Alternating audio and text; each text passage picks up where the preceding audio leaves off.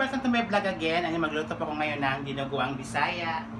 So, ito po yung baboy pinakuluan ko na kasi kailangan pakuluan mo sa saluya or kung may tanglad para hindi siya malangsa. So, kailangan pakuluan muna bago natin yan. Actually, wala kasing laman wala kasing laman loob eh. So, ang nabili ko lang puro baboy lang. So, unahin natin ang ang luya. Tapos ng luya, unahin natin natin ng bawang. Pero actually, madali naman itong ano eh, lutuin ng dinuguan eh. Sa technique na lang paano lulutuin ninyo. Ako kasi, pag Bisaya kasi, wala talagang sa, masyadong sabaw, di ba? Pag ano, sorry na ka naka-makeup ako ha, kasi meron kasi may pictorial sa ano, aking work, sa Passion Lab 9. Ayan, pagkatapos ng luya, ilalagay na ang sibuyas. Kasi kailangan talaga magisa siya. Alam mo ang sikreto sa isang sa isang pagluluto talaga. Sikreto na parang ano mag, mag medyo masarap or masarap na masarap talaga ang lutuin mo. Igisa mo maigi ang baboy or, or manok. Kasi kung isang kutsa talaga yan, ang tendency yan, magti-trigger kasi yung ano eh, magti-trigger yung mga yung mga sibuyas, mga luya. Chances are sasarap talaga siya.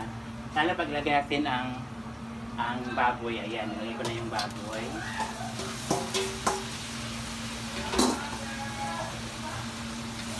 Ayan, nilalagay ko na yung baboy, ayan. So, igisa, igisa nyo talaga siya ng maigi kasi pag nakagisa talaga siya, mawala ang langsa niya at lalong masarap talaga. At magkakaroon kasi ng ng sabaw din ang baboy dahil sa the gravity of the heat. Diba? Ganun talaga. So, lagyan na yun ng asin. Asin. Paminta. Tipla natin bago hang, hang, habang inaano natin siya, ginigisa, meron na siyang lasa. Tapos, pag nahalo nyo na siya, pag nahalo nyo na siya, lagyan nyo lang siya ng kunting, kunting, kunting, kunting sabaw, kalahating, kalahating tasa lang siya. Ayan, kalahating tasa lang. Tapos, kasi magkakasabaw pa rin yan eh. Tapos, takpan natin sa ating improvise na takip. Ayan. Pero dahan-dahan ang, ang, ang, ano, ang apoy kasi para magkasabaw siya lalo. Ayan, abangan nyo po guys. Pag nagisa na natin yon ito naman nating dugo. Kailangan ang dugo kasi lagyan nyo na kagad ng asin konti at saka tawag nito? Vinegar or suka. Yan kaya watch mamaya. Thank you. Okay ayan na po. Ayan nagisa na natin. Ilalagay na, ilalagay na natin ngayon ang dandahan kailangan paglagay ng dugo ano agad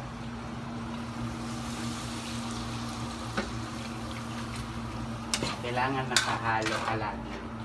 Kasi mamumuo ang dugo. Yung natira inumin mo? Yes yung natira pwede namang inumin pero alas 12 pa lang gabi. Yan kailangan i kailangan maging mala. Ibig sabihin maging tuyo. Idagyan natin ng dugo kasi patuyuin na lang natin siya mamaya. Tips ko naman din, pag naglagay kayo ng vinegar or suka sa, sa, su, sa dinuguan, pag naglagay kayo, kailangan po hindi nyo haluin kasi ang tendency niyan, pag trigger siya sa baboy eh, chances are, pakait talagang ano, ang ating dinuguan. See? I told you guys, tingnan nyo ha, tingnan nyo namumuo na siya. So, kailangan haluin siya ng haluin huwag pabaya sa pagluluto. Kailangan talaga, pag nagluto ka ng ulam, kailangan may puso ka. Ayan, look kay, look kay. O, diba? Natuyo agad. Natuyo siya. kailangan haluin siya ng haluin. Kasi pag tendency niyan, mamumuot, mamumuot siya. Para ka nang naghalo kay ubi lang, di ba? Pero ang sarap kasi niya kasi tamang-tama lang yung nilagay kong dugo na muuna siya oh. Kailangan yan. So na nahalo ko na siya ng nahalo. Ngayon ilalagay naman natin ngayon maglagay tayo ng tansyahin nyo lang yung tawag nito, yung apoy at maglalagay tayo ngayon ng suka. Pag naglagay ng suka, kailangan dandahan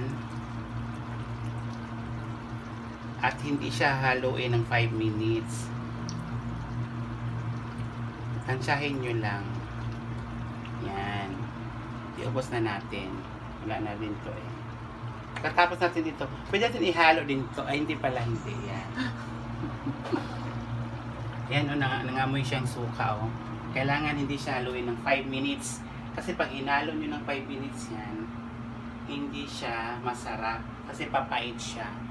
As long, ano, ah, habang na nilagay natin yung suka, antayin natin 5 minutes, maglagay naman tayo ng sili panigang. Yan. So, ang pinaka-last natin ilalagay ang dahon ng dahon ng ano, what it's called this is spring onions. Yan. So, antayin na natin mga 5 minutes. So, naka, naka 3 minutes na tayo. Saka natin haluin. Actually, kasi pag ganyan, kasi pag marami, pag matagal kasi ang pagkagisa ng, ano, ng baboy, mawawala ang lansa. At nagkakaroon siya ng sarili niyang mantika ang baboy. Kasi di ba may marutaba ang baboy. So magkakaroon siya ng, tinan mo sa gilid guys. Oh. Mga mantika yan sa gilid. Yan sa, sa gilid, mga mantika yan. Sa gilid. Kasi nga, matagal mo siyang, what do you call this? Matagal mo siyang ginisa. Kaya nagkakaroon siyang sarili niyang mantika. Kumbaga, may kasabihan tayo, ginisa ka sa sarili mo mantika. Oh, yan. Ngayon, pwede nating haluin. Ayan.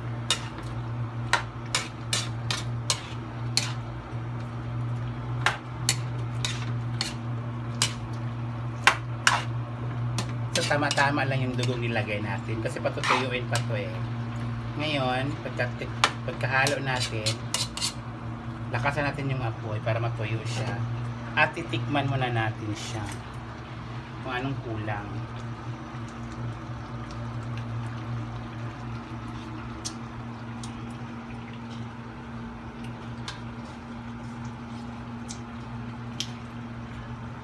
Dagdagan natin ng asin. Tips ko lang sa inyo, wag kayong, mag, wag kayong tumikim dito para hindi maging bago yung luto ninyo. Diba? Kukuha ka ng ganyan, titikim, babalik, titikim, babalik. That's bad. That's wrong move. You just put na lang another ano, asin,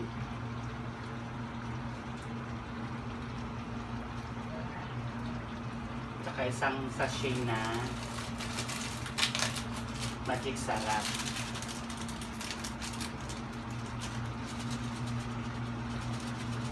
Hindi na ako nagbibitchin guy eh. Actually, masarap talaga ang bitchin. Ang bitchin naman is hindi, hindi naman sinasabi nila na nakakasira ng buto, hindi. Ano siya, nakakatulong na siya for the heart nga bitchin din eh. Pero kaya lang, hindi ako naglalagay ngayon ng bitchin kasi nga wala akong bitchin. Yan, haluin natin ulit. Alam mo, ang sarap ng amoy. Sobra. Amoy pa lang, ulam na. Pwede nyo pigain yung, pwede nyo, para gusto nyo maanghang, pwede nyo hatiin sa, sa sandok ang, anong ito, ano ito, sili panigang. Para, actually, hindi, hindi, hindi, hindi talaga ako kumakain ng maanghang, pero, tinatry kong kumakain ng maanghang ngayon kasi malay mo makapunta ka na ibang bansa may mapupuntahan mong bansa mga maanghang luto hindi ka na ma manibago ayan patuyo na siya guys kailangan imala lang natin ang ating tinatawag na dinuguan.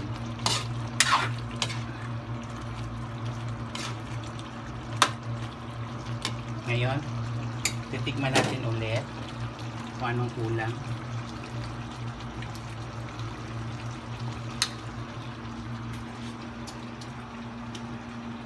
Sobra.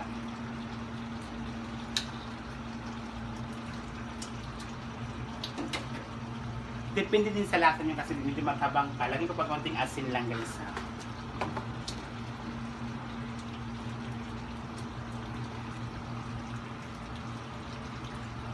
Ayan, thank you so much. Ayan na po ang aking minuguang bisaya. Kailangan patuyuin lang natin ng patuyuin.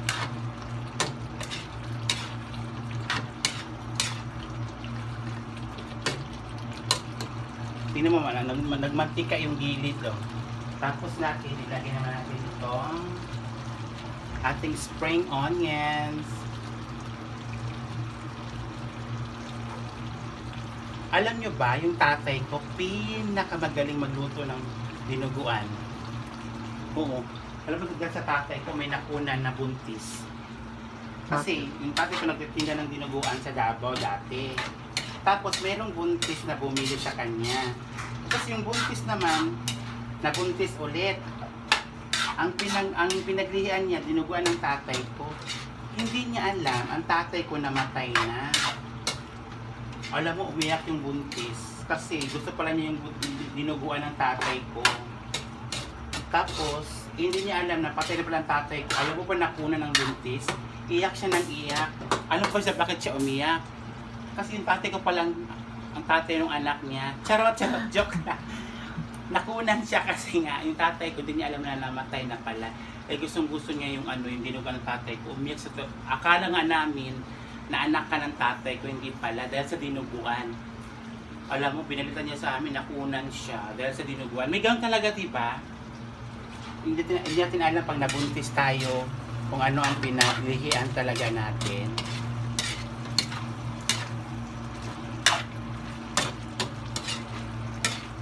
Ayan, tuyo na siya. Kunting ano na lang. Ayan, thank you so much guys. Luto ng ating dinuguang bisaya. Patuyuin ko na lang siya. Kaya kailangan wala na masyadong siya sabaw. Ang sasabaw na lang niya, lumabas na lang yung pinakamantika niya. And thank you so much for subscribe my YouTube channel.